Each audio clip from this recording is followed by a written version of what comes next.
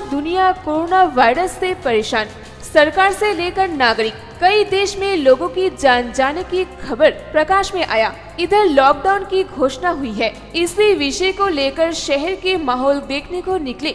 Voice आपकी आवाज़ के प्रतिनिधि। एक समाज सेवी से मुलाकात हुई। उनसे कोरोना वायरस एवं लॉकडाउन के विषय पर पूछने पर क्या बोले? सुनिए आप।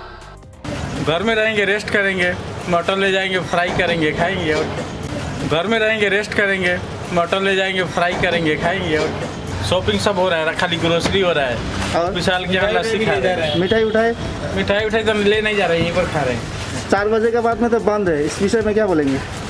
घर में रहेंगे रेस्ट करेंगे मटन ले जाएँगे फ्राई करेंगे खाएँगे और क्या दूसरी ओर जनता कर्फ्यू के बाद लॉकडाउन के समय होने से पहले सुबह का रोज ही जयगांव में लॉकडाउन का माहौल देखने को मिला।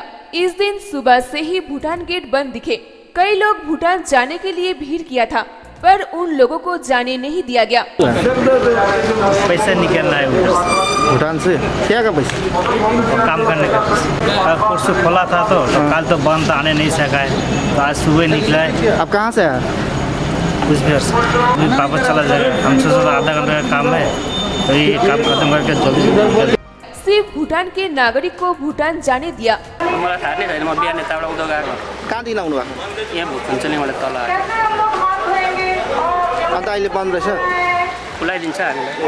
वहीं भारत के नागरिक को भूटान से भारत आने दिया। भूटान गया था। तो अभी कहाँ से आ रहा है? भूटान से आ रहा है। भूटान कहाँ? तेरे अशोक होटल तो फिर आया क्यों वापस? उधर से बोल रहा है उधर काम मत करो अभी चला जाओ क्यों क्यों काम क्यों नहीं करो? बोल रहा है कि क्या क्या हो रहा है इधर क्या क्या हो रहा है? क्या बोलता है रोग वायरस हो रहा है। अच्छा तुम लोग कितना आदमी गया था? छः आदमी गया था। वापस आ गया। कितना दिन से वहाँ पर काम करते हैं? दो महीने से। अभी कहाँ जाएगा? अभी घर घर जाएगा फलाटा